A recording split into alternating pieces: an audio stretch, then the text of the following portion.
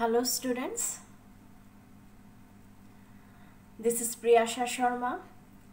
I welcome all of you to KMUC online classroom. I wish all of you are fine by the grace of Almighty God. And I wish all of you good health and good future also.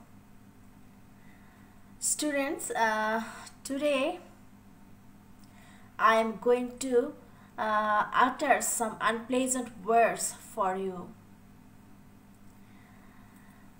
Students, uh, in uh, as you know, in this pandemic situation, nobody is uh, well uh, mentally, but still, we teachers are trying our best to teach you properly, to help you to complete your syllabus. But it is so disappointing. We are so disappointed that most of you are not joining the classes. Only few of are you joining the classes. Why? What's the reason behind this? So, my uh, it's my humble request to, to all of you. Please be sincere from today from right now actually. Because after the back vacation you have to face your examinations. Don't you think about that? It will be uh, it, is going to be a tough tough uh, task for you. Because if you don't uh, complete your syllabus you can't uh, pass in your pass uh, in your exams. And you can't uh, promote in next class. So why are you not sincereing?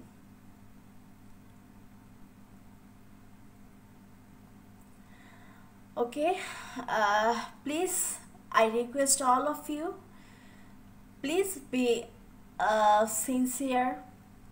Please be attentive. Because we are uh, trying our best and we are uh, actually we are working hard before uh, uh, only for your classes. So uh, this is my oh, this is our only uh, demand from you. Please join the classes.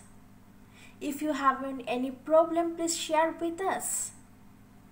Okay okay students uh, i'm not going to tell these uh, bitter words anymore. Okay uh, students in my last class i have discussed about right forms of verbs.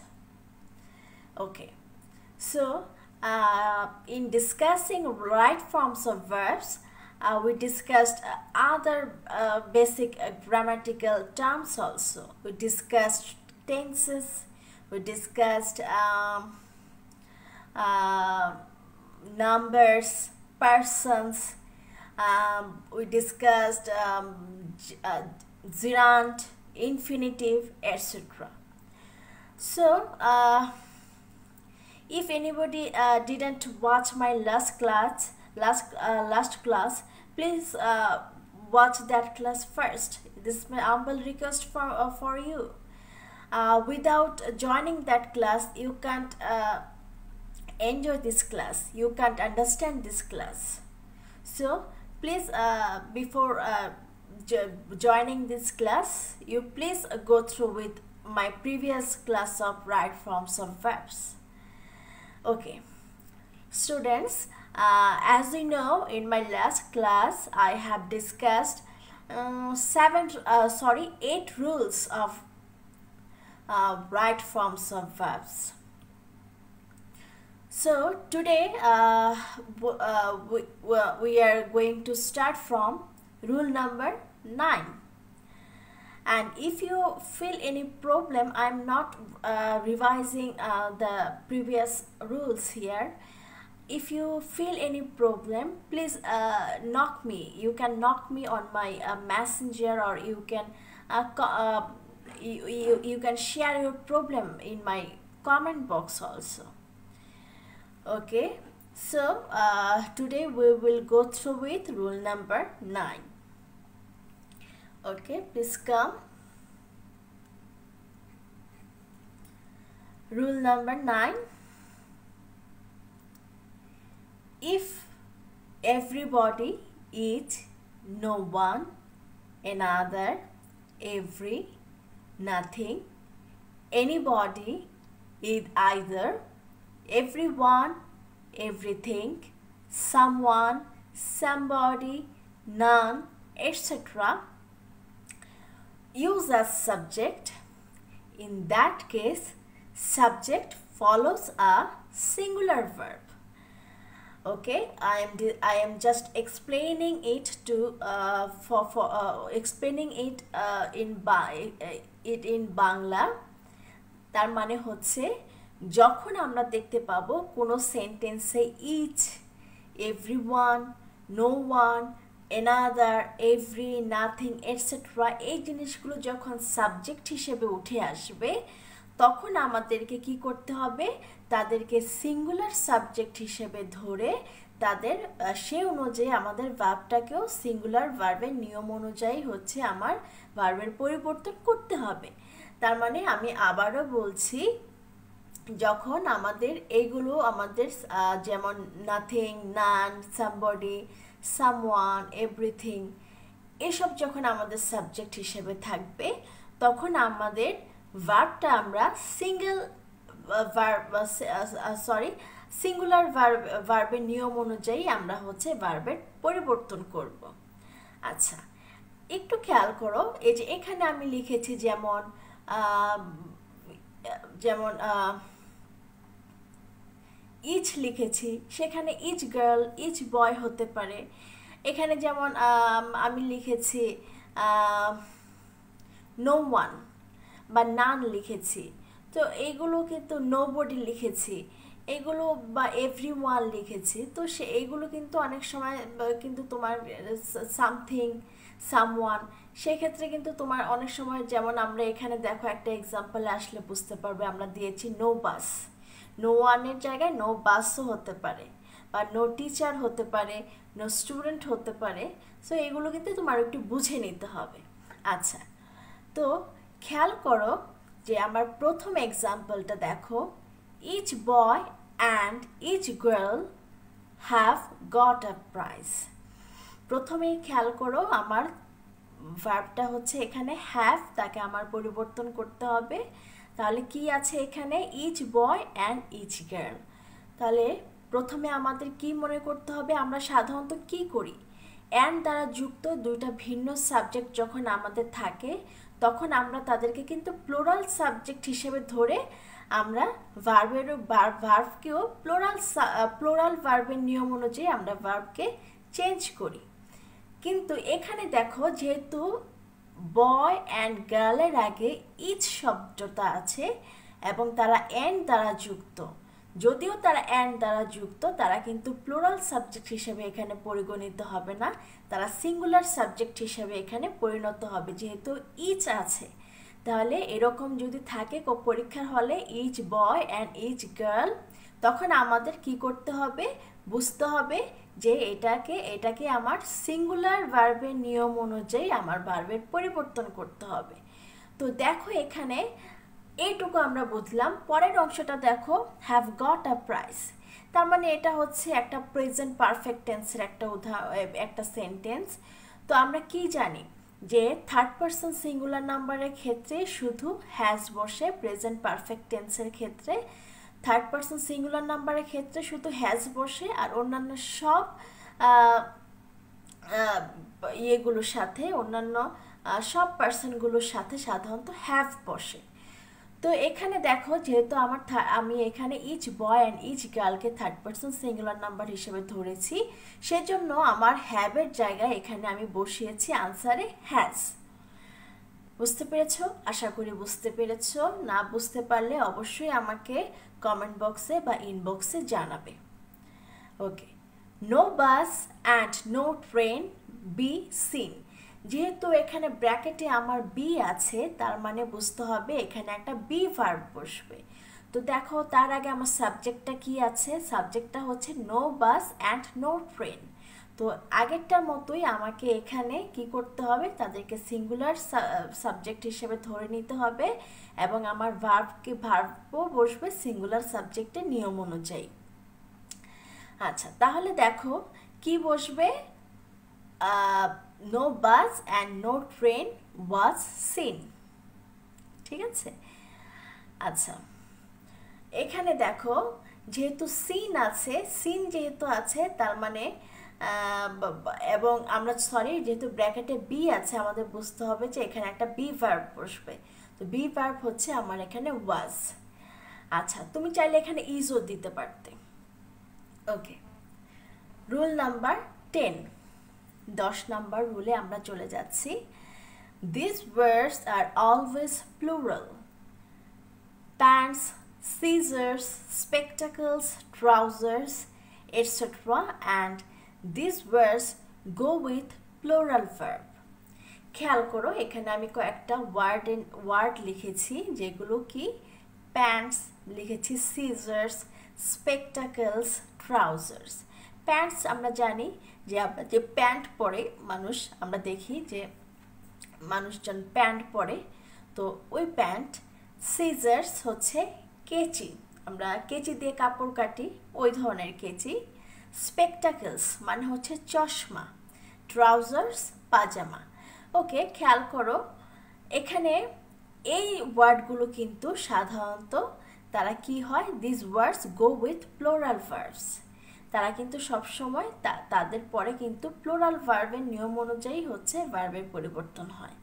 তাহলে খেয়াল করো যে তোমাদের মনে নিশ্চয় প্রশ্ন যাচ্ছে, জাগছে যে এরা তো আলাদা আলাদা শব্দ, এরা কেন প্লোরাল হবে? কারণ তুমি দেখো একটা চশমা, চশমার কিন্তু দুইটা গ্লাস আছে। এখানে একটা এক, দুইটা গ্লাস ছাড়া কিন্তু একটা চশমা হয় না। এটা একটা জোড়া। তো আমাদের বুঝতে হবে যে নাউনগুলো দুইটি মিলে একটি বোঝায়। সেক্ষেত্রে এই নিয়মটা প্রযোজ্য।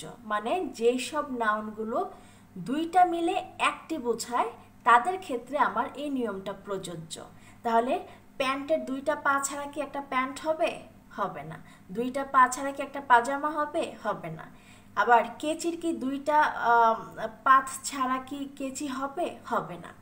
তাহলে যেহেতু তাদের দুইটা জিনিস মিলে তারা একটা জিনিসকে বোঝাচ্ছে। তো সেই ক্ষেত্রে আমাদের আমাদের তাদেরকে প্লোরাল ধরে এবং তাদের পরে প্লোরাল ভার্বটাই আমার ব্যবহার করতে হবে। আচ্ছা তো দেখো একটা উদাহরণ আমরা দিই, তাহলে তোমরা হয়তো বুঝতে পারবে। The scissors be dangerous for children তাহলে উত্তরটা কি হবে? বলো তো সিজার্স লেখা আছে। সিজার্স মানে কেচি। কেচি মানে একটা কেচির দুইটা পাত মিলেই কিন্তু একটা কেচি হয়ে থাকে। তো এখানে দ্য সিজার্স আর হবে। যেহেতু আমরা বলেছি এই ধরনের ওয়ার্ডগুলোর পরে সবসময় ভার্ব প্লোরাল হয়। তো সেই জন্য আমার এখানে ইস হবে না, হবে আমার আর তাহলে the scissors are dangerous for children আচ্ছা তো এটা নিশ্চয়ই বুঝতে পেরেছ।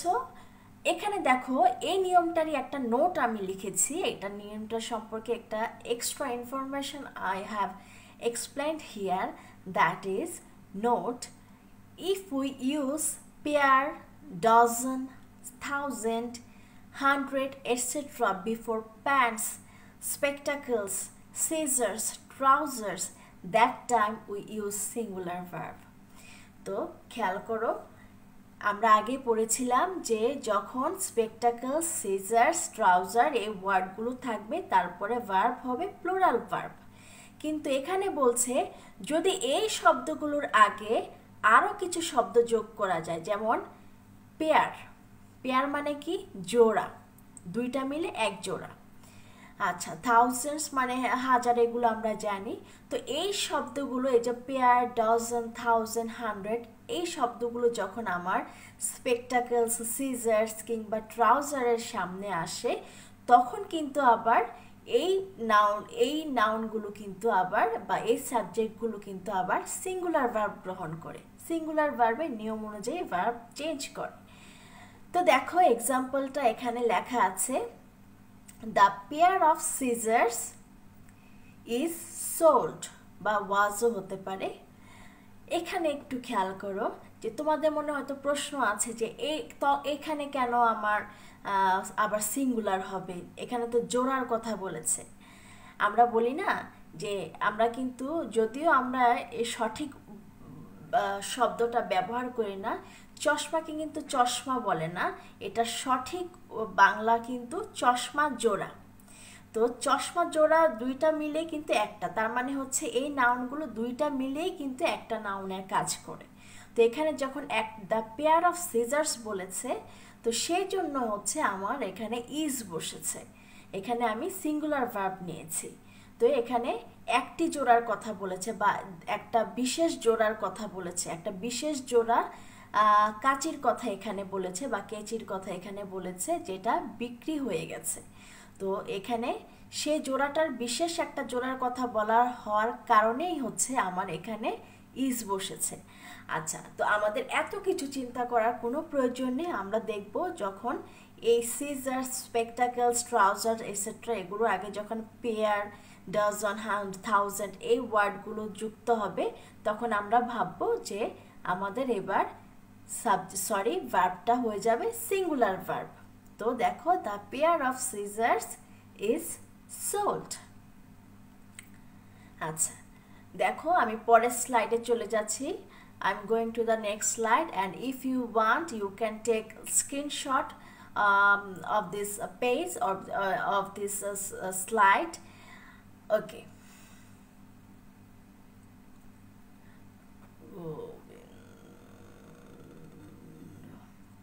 okay now come to the next rule this rule is very much important it is very very important rule and আমরা অনেক সময় দেখি students are usually uh, do mistake uh, in uh, on in rule uh, in this Rule number 11 so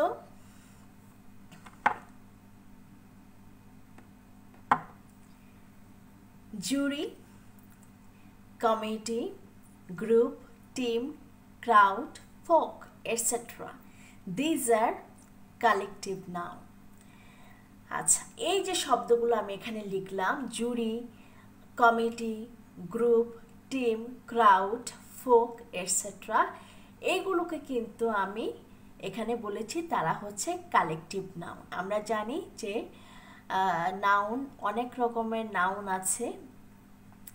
তো এখানে এই নাউনটা হচ্ছে collective noun collective collective noun মানে কি? সমষ্টিবাচক।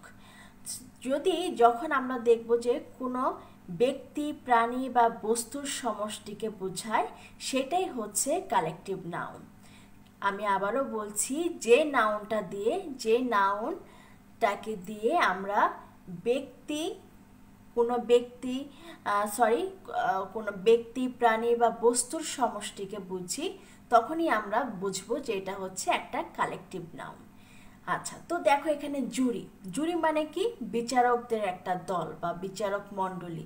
তো এখানে কিন্তু একজন বিচারক না, এখানে কিন্তু অনেকজন বিচারক আছে। তো যেহেতু তারা একটা সমষ্টি, বিচারকের সমষ্টি, সেজন্য জুরিটা হচ্ছে একটা কালেকটিভ নাম অপরদিকে কমিটি একটা যখন কমিটি গঠন করা হয়, তখন আমরা কি দেখতে পাই? একটা কমিটির মধ্যে অনেক মেম্বার থাকে। তো ওই সবগুলো মেম্বার মিলেই কিন্তু ওই কমিটিটা তো এখানেও কমিটি মেম্বারদের একটা সমষ্টিকে বুঝিয়েছে সেই জন্য কমিটিটাও একটা কালেকটিভ নাম তো এভাবে হচ্ছে সবগুলোই একই রকম, একটু বুঝে নিও। আমি পরের লাইনে চলে যাচ্ছি। Generally after collective noun we use singular verb but if we find individual members are different in their opinions, in that case, we use plural verb after collective noun. কি খুব কঠিন লাগছে? No do not fear it's so easy তার মানে হচ্ছে, আমি একটু সহজভাবে বলে দিচ্ছি, যেটা হচ্ছে সাধারণত আমরা কি, আমরা যেটা জানি যে কালেকটিভ নাউনের পরে সব সাধারণত বা বেশিরভাগ সময় আমরা দেখতে পাই ভার্বটা কিন্তু সিঙ্গুলার ভার্ব বসে। যেমন jury committee jury is committee is এরকম সিঙ্গুলার ভার্ব বসে কিন্তু আমরা যখন দেখতে পাই যে এই কালেকটিভ নাউনের যে মেম্বাররা আছে, তারা যখন একজন আরেকজনের সাথে দ্বিমত পোষণ করে, তারা যখন এক, একমত হতে পারে না কোনো কিছু সম্পর্কে, তারা যখন কোনো বিষয় সম্পর্কে দ্বিমত পোষণ করে, তখন কিন্তু সেই ক্ষেত্রে কিন্তু সেই সেন্টেন্সে আমরা দেখতে পাই যে কালেকটিভ নাউন থাকার পরেও আমাদের ভার্বটা কিন্তু প্লোরাল ভার্ব হচ্ছে। আমি আবারও বলছি কালেকটিভ নাউন আশা করি বুঝতে পেরেছ যে কোনো ব্যক্তি, বস্তু বা কোনো কিছু সমষ্টিকেই কালেকটিভ নাউন বলে গোবিন্দ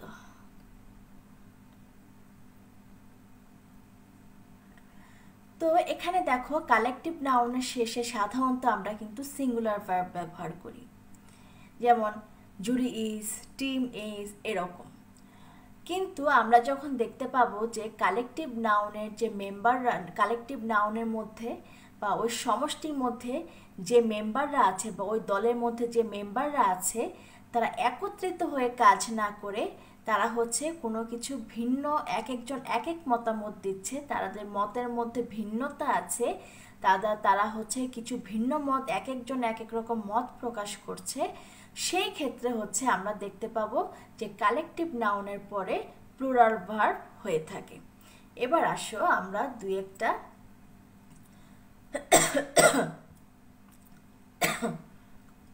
সরি এবার আমরা দেখো কয়েকটা এক্সাম্পল আমরা পড়ে নেই। The committee be unanimous unanimous অর্থ কি জানো? একমত হওয়া। একমত। ওকে আচ্ছা। তো দেখো, এখানে যেহেতু দেখো দ্য কমিটি দ্য কমিটি কিন্তু একটা কালেকটিভ নাউন তারপরে আমার ভার্বটা হবে, এখানে একটা বি ভার্ব বসবে। তারপরে দেখো সেন্টেন্সে কি লেখা আছে? আনএনিমাস তার মানে হচ্ছে তারা হচ্ছে একমত আছে, তারা কিন্তু দ্বিমত কেউ পোষণ করেনি। যেহেতু তারা দ্বিমত পোষণ করেনি, তার মানে তারা তাদের শেষে ই সিঙ্গুলার ভার্ব বসবে। তাহলে আনসারটা কি হবে? বাবারা, দেখো দ্য কমিটি ইজ আনএনিমাস বা ওয়াজও হতে পারে, যেহেতু এখানে টেন্সের কোনো ক্লু নেই। আচ্ছা পরবর্তী সেন্টেন্সে দেখো the committee be divided into two groups এখানে কিন্তু দেখো, ওই যে আমরা যেটা আগে বলেছি যখন কালেকটিভ নাউনের ক্ষেত্রে যখন তারা হচ্ছে তাদের মানে বক্তব্যে বা তাদের মতাদর্শে যখন তারা ভিন্ন মত পোষণ করে, ভিন্ন মত দেয় বা ভিন্ন মতামত দিয়ে থাকে, তখন কিন্তু তাদের, তারা কিন্তু সেই ক্ষেত্রে কিন্তু কালেকটিভ নাউনের পরে প্লুরাল ভার্ব বসে। তো দেখো, এখানে যেহেতু বলেছে committee divided into two groups কমিটিটা দুই ভাগে ভাগ হয়ে গেছে কোনো কারণে। তো যেহেতু দুই ভাগে ভাগ হয়ে গেছে, তারা এখন একমত নেই, তাদের মধ্যে দ্বিমত আছে। গোবিন্দ।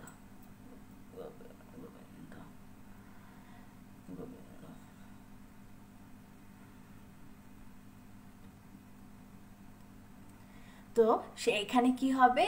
যেহেতু তারা তাদের মধ্যে দুইটা মত আছে, তো এখানে কি হবে আমার? আমার এখানে আমি ব্যবহার করব প্লোরাল ভার্ব তো দেখো আনসারটা কি হবে?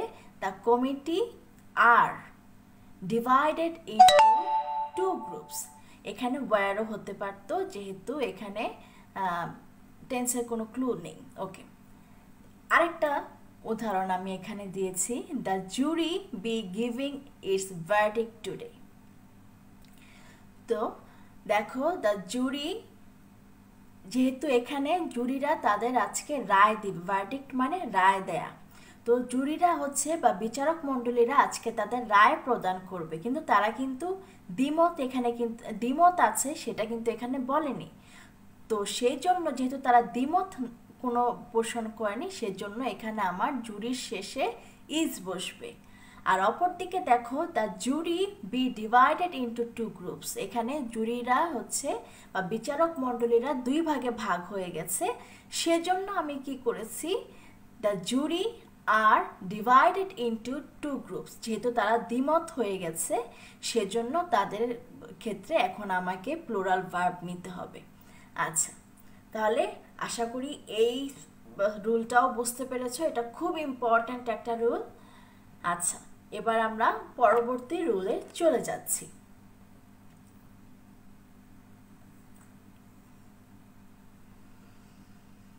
Number twelve mathematics news physics politics this words look like plural but actually they take singular verbs আচ্ছা দেখো এই ওয়ার্ডগুলোকে দেখো একটু ম্যাথমেটিক্স নিউজ ফিজিক্স পলিটিক্স সবার শেষে এস আছে। আমরা সাধারণত কি দেখি? প্লোরালের শেষে এস বা ইএস বসে। কিন্তু এখানে কিন্তু তাদের ক্ষেত্রে কিন্তু সেটা না। তো দেখো, এই ওয়ার্ডগুলোকে দেখতে প্লোরালের মতো দেখালেও আদতে কিন্তু ওরা প্লোরাল না। তারা কিন্তু সিঙ্গুলার ভার্বেই গ্রহণ করে। তারা কিন্তু সিঙ্গুলার এবং তারা সিঙ্গুলার ভার্বেই তাদের সেন্টেন্সে নিয়ে থাকে। তো দেখো প্লোরাল মতো দেখা প্লোরালের মতো দেখা গেলেও কিন্তু তারা প্লোরাল না। তো দেখো, আমি একটা এক্সাম্পল দিয়েছি। Politics is not so easy তো দেখো পলিটিক্সের শেষে আমি কি দিয়েছি? ইজ দিয়েছি। একটা সিঙ্গুলার ভার্ব এখানে আমি দিয়েছি। কারণ হচ্ছে তারা দেখতে প্লোরালের মতো হলেও আদতে তারা সিঙ্গুলার এর জন্য তাদের ভার্বটাও বসবে সিঙ্গুলার আচ্ছা এরকমভাবে তুমি তোমার মন মতো আরও আরও কিছু এক্সাম্পল দিতে পারো। যেমন mathematics is my favourite subject তো দেখো ম্যাথমেটিক্সের পরে আমি কি দিয়েছি? ইজ ওকে এবার রুল নাম্বার থার্টিনে চলে আসো।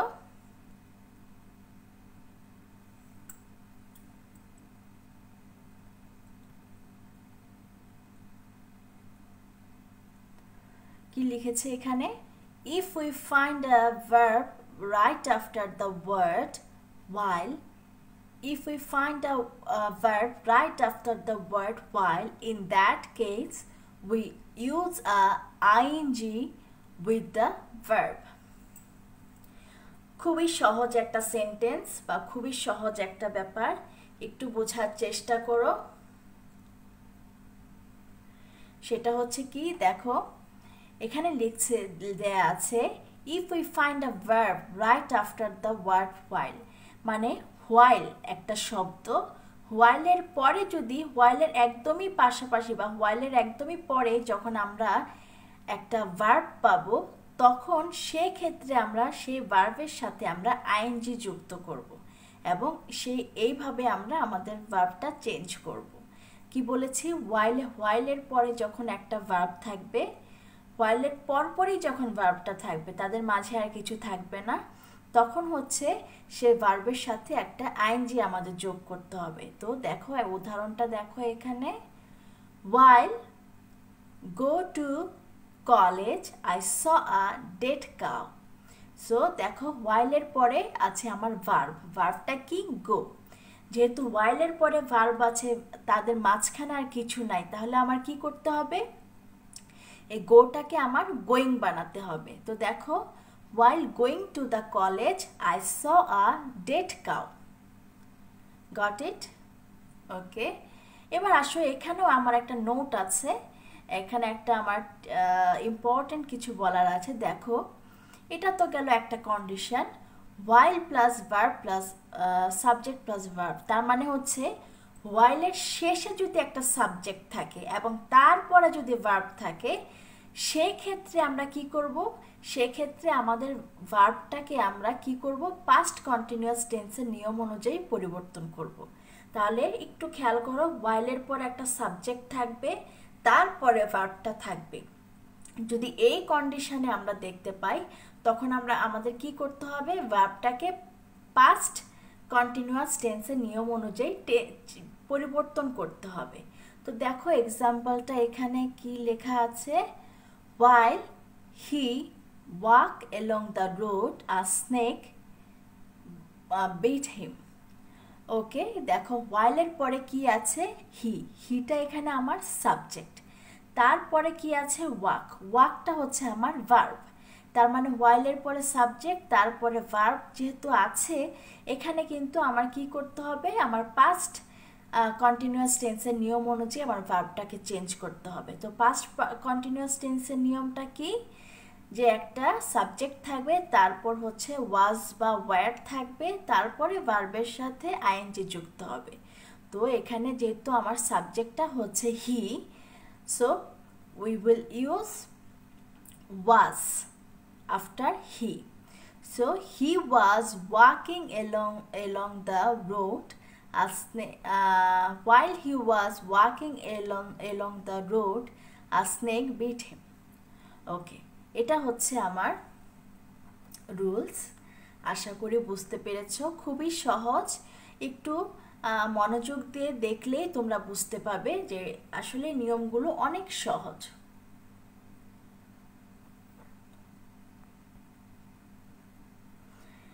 নাম্বার ফরটিন দেখো, আমরা বিফোর আফটারের নিয়মটা অনেক সময় পড়েছি।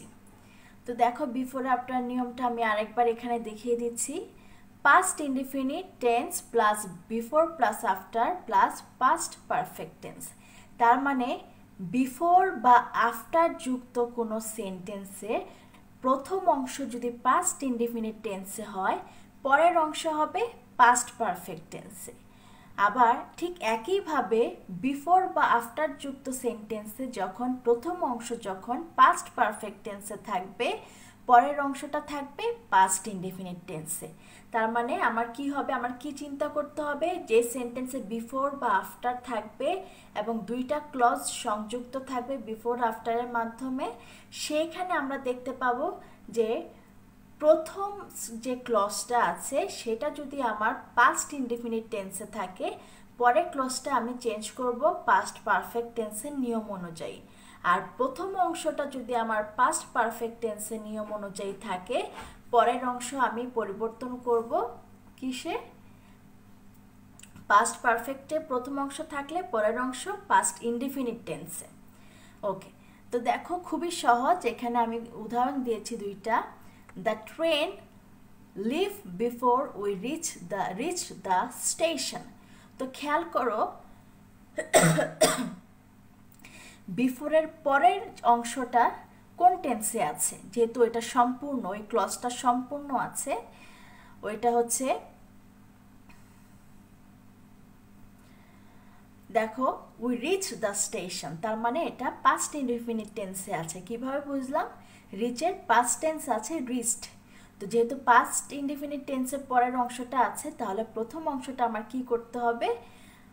পাস্ট পারফেক্ট টেন্সে করতে হবে। তাহলে আমার কি আনতে হবে? সাবজেক্টের পরে একটা হ্যাড আনতে হবে, তারপরে ভার্বের পাস্ট পার্টিসিপাল আনতে হবে। তাহলে দ্য ট্রেন হ্যাড লিভের পাস্ট পার্টিসিপাল হচ্ছে left left before we reached the station very simple এবার আসো দ্বিতীয় ইয়েটাতে এক্সাম্পলে the doctor come after the patient had died তো খেয়াল করো, পরের অংশটা আমার কি আছে? দ্য পেশেন্ট হ্যাড ডাইড তার মানে হ্যাড আছে পাস্ট পার্টিসিপল আছে, তার মানে পরের অংশটা আমার পাস্ট পারফেক্ট টেন্সে আছে। তাহলে প্রথম অংশ আমার কি করতে হবে? পাস্ট ইনডিফিনিট করতে হবে। তাহলে কি করতে হবে? আমার বারবার পাস্ট ফর্ম লিখতে হবে। The doctor came after the patient had died okay এবার আসো রুল নাম্বার ফিফটিনে প্রেজেন্ট টেন্স আমি একটু সহজ করি বলি। অ্যাজ ইফ বা অ্যাজ দো দ্বারা যুক্ত দুইটি ক্লজের প্রথম অংশ যদি প্রেজেন্ট ইনডিফি প্রেজেন্ট টেন্সে থাকে, পরের অংশটা হবে পাস্ট ইনডিফিনিট টেন্সে আমি আবারও বলছি, খুব ইম্পর্ট্যান্ট রুলস এগুলো।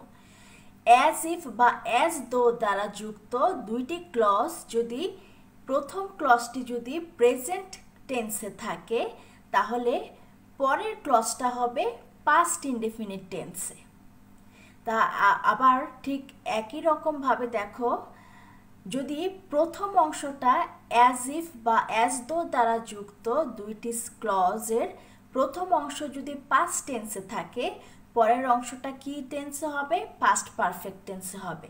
তার মানে প্রথম অংশ যদি প্রেজেন্ট টেন্স থাকে, পরের অংশ হবে পাস্ট ইনডিফিনিট টেন্সে এবং অ্যাজ ইফ অ্যাজ দো দ্বারা যুক্ত সেন্টেন্সগুলো যখন, প্রথম অংশ যখন পাস্ট টেন্স হবে পরের অংশ হবে পাস্ট পারফেক্ট টেন্সে তো আসো, পরের পৃষ্ঠায় আমি এদের উদাহরণগুলো দেখেই আচ্ছা এই যে দেখো, এখানে এক্সাম্পল দেয়া আছে সুন্দর করে। You talk as if you know everything খেয়াল করো ইউ টক ভার্বের সাবজেক্টের পরে ভার্ব হচ্ছে আমার টক কিন্তু এখানে কিন্তু টকড লেখা নাই। যেহেতু টক লেখা আছে, তার মানে বুঝতে হবে এটা আমার প্রেজেন্ট টেন্সে আছে প্রেজেন্ট ইনডিফিনিট টেন্সে আছে প্রথম অংশ। তো যেহেতু অ্যাজ ইফ আছে, প্রথম অংশ প্রেজেন্ট টেন্সে আছে প্রেজেন্ট ইনডিফিনিট টেন্সে আছে, তাহলে পরের অংশ কি করতে হবে? পরের অংশ আমার পাস্ট ইনডিফিনিট টেন্সে করতে হবে। তো দেখো you talk as if you knew everything কারণ নো এর পাস্ট ফর্ম হচ্ছে নিউ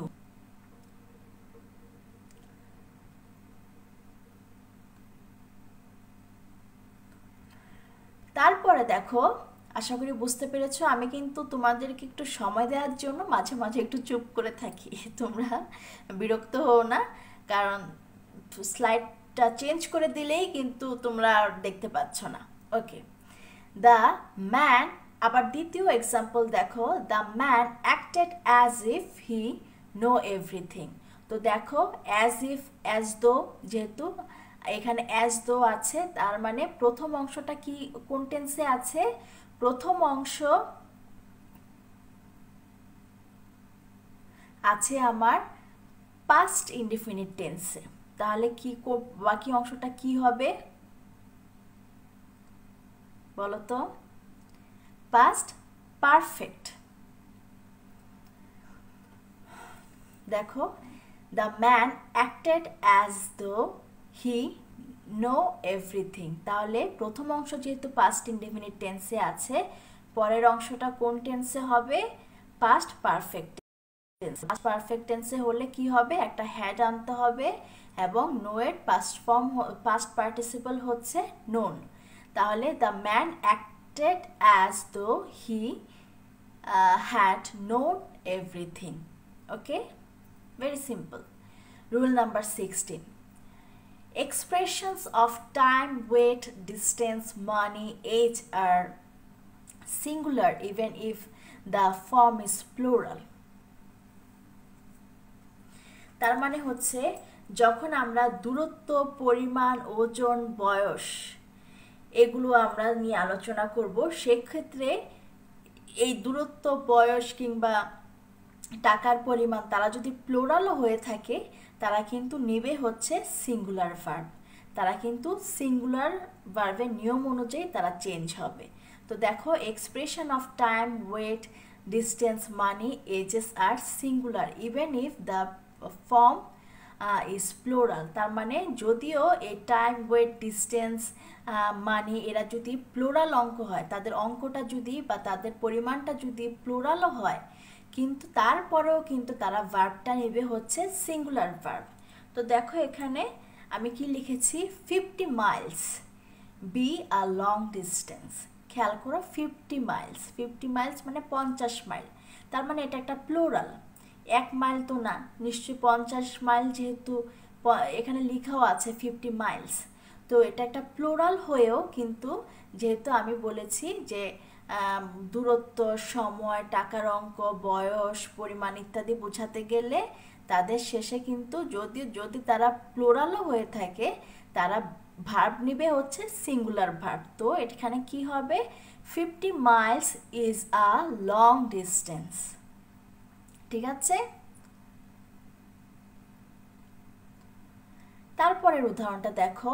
ফাইভ টাকা বি স্পেন্ট তো এখানে ফাইভ থাউজেন্ড টাকা কিন্তু এক টাকা না, পাঁচ হাজার টাকা যেহেতু এটা একটা প্লুরাল অঙ্ক। তো সেখানে দেখো, তারপরেও কিন্তু এটাও কিন্তু গ্রহণ করেছে একটা সিঙ্গুলার ভার্ব সেটা কি? ওয়াজ ফাইভ থাউজেন্ড টাকা ওয়াজ স্পেন্ট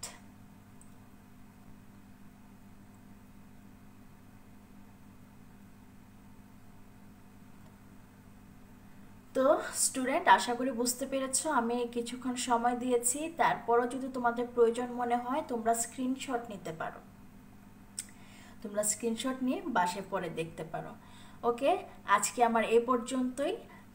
স্টুডেন্টস দেখো right forms of verbs have many rules so I have only discussed the complicated rules here and I have discussed the, only the important rules here. So if you find any uh, complication in another rules, uh, please uh, knock me in my inbox, please. Okay. আমি আর right forms of verbs নিয়ে আর অন্য কোনো class নিতে যাব না আজকে আমার এটাই আমার রাইট ফর্মস অফ ভার্বসের শেষ ক্লাস আর আমি, কারণ আমি ইম্পর্ট্যান্ট রুলসগুলো এবং যে রুলসগুলো সাধারণত স্টুডেন্টদের মধ্যে কনফিউশন থাকে, সেগুলো সম্পর্কে আলোচনা করেছি। আর যে ছোটোখাটো রুলগুলো রয়ে গে রুলসগুলো রয়ে গেছে, সেগুলোতে যদি কোনো প্রবলেম থাকে, আশা করি সেটা তোমরা নিজেরাই বুঝতে পারো বা পারবে। যদি না বুঝতে পারো, অবশ্যই আমাকে ইনবক্সে জানাবে। তো থ্যাংক ইউ সবাই ভালো থাকো গুড বাই